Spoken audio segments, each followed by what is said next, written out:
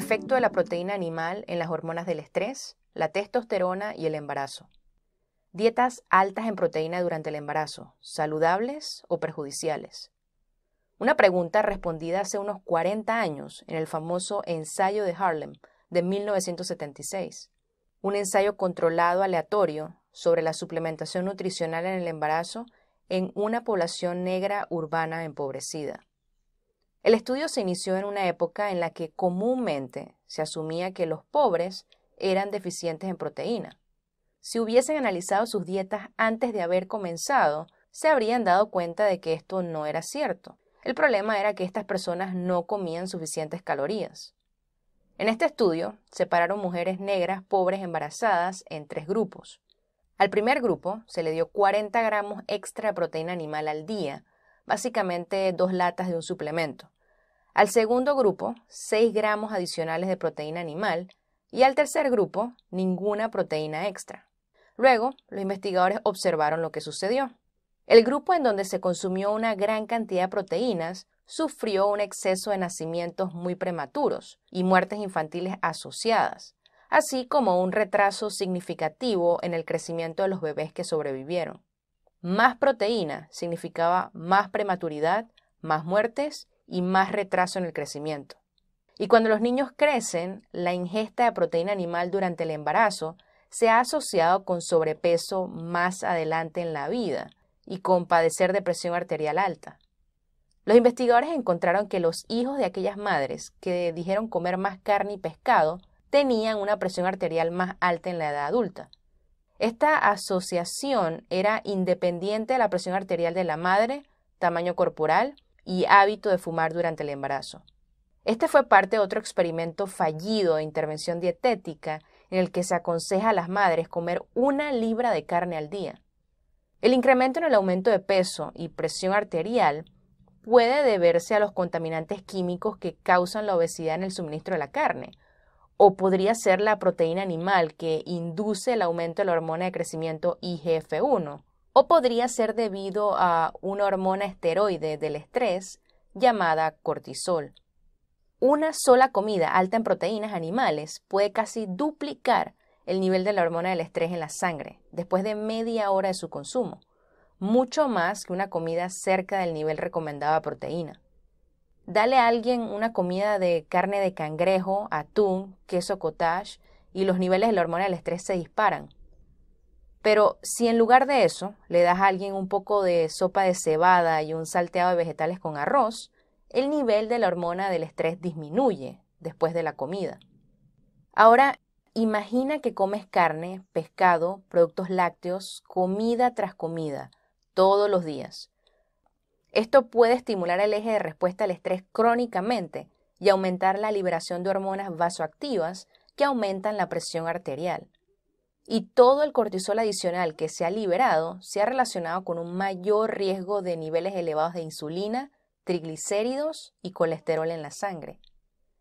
Si tomamos varones con una dieta alta en proteínas, carne, pescado, aves, claras de huevo, y los cambiamos a una dieta alta en carbohidratos, pan, vegetales, frutas y dulces procesados, sus niveles de cortisol caen cerca de un cuarto en 10 días. Al mismo tiempo, sus niveles de testosterona se disparan en aproximadamente la misma cantidad.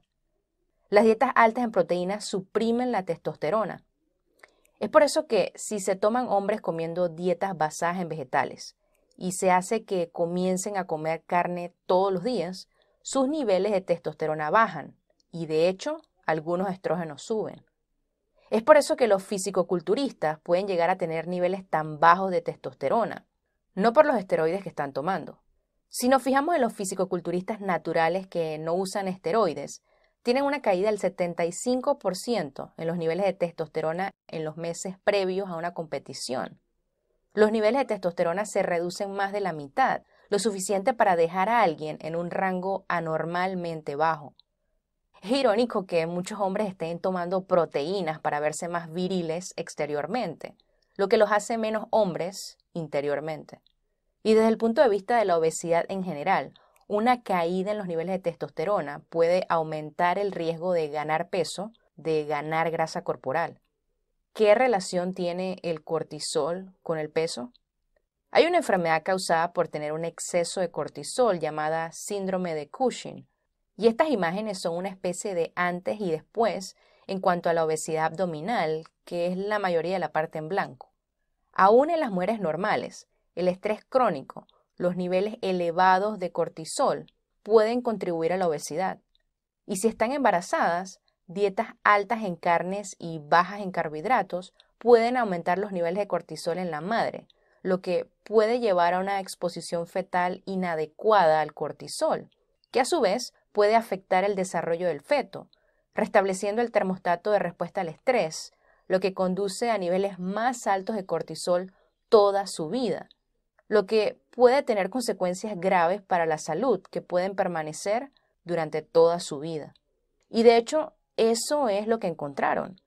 Cada porción diaria de carne y pescado de la madre estaba asociada con niveles de cortisol un 5% más altos en sus hijos, hasta incluso 30 años más tarde, aunque se ha encontrado que el consumo de vegetales verdes tiene un efecto protector. Un mayor consumo de carnes y pescados, unas tres porciones al día en comparación con una o dos, estaba asociado con niveles de cortisol significativamente más altos, pero comer vegetales verdes todos los días pareció amortiguar parte del exceso de la respuesta al estrés. Y los hijos adultos de madres que consumían gran cantidad de carne durante el embarazo no solo tienen niveles de la hormona del estrés más altos, sino que parecen reaccionar más negativamente con lo que la vida les depara. Si se les pone la prueba de Trier, que consiste en hablar en público delante de un panel de jueces, seguido de un ejercicio matemático en vivo, aquí están las respuestas hormonales de estrés en aquellas madres que comieron menos de dos porciones de carne por día, en comparación con alrededor de dos al día, en comparación con unas dos a tres porciones al día. Ten en cuenta que antes de comenzar el ensayo, los dos grupos de consumos inferiores de carne empezaron sobre los mismos niveles, pero una respuesta exagerada del cortisol se manifestó cuando se expusieron a una situación estresante. Ahora bien, los efectos reales es que después de ese tipo de prueba, si se ofrece privadamente un aperitivo tipo buffet con frutas y vegetales como una opción, o como otra opción, alimentos azucarados grasosos como pastel de chocolate, adivina quién come menos frutas y vegetales. Los que tienen altos niveles de estrés crónico. El cortisol está implicado como un factor de motivación en el consumo de comida, incluso cuando no estás muy hambriento. Así que no es de extrañar que la ingesta de proteína animal durante el embarazo pueda conducir a un mayor aumento de peso en sus hijos más tarde en la vida y quizá incluso a sus nietos. Así es cuánto se puede dañar el eje del estrés. Evidencia reciente sugiere que las consecuencias adversas a largo plazo pueden no limitarse a una generación. La dieta de una madre embarazada puede influir en el desarrollo y riesgo de enfermedad de sus hijos e incluso sus nietos. Finalmente, estos hallazgos pueden arrojar un poco de luz en el tema de las epidemias de diabetes, obesidad y enfermedades del corazón. Espero que hayas disfrutado otro video de plantarevolution.com. Si fue así, dale me gusta, déjame un comentario. No olvides suscribirte al canal y hacer clic en la campanita para recibir notificaciones y así saber cuándo subo un video. Y recuerda, lo aquí presentado no es una opinión, es ciencia.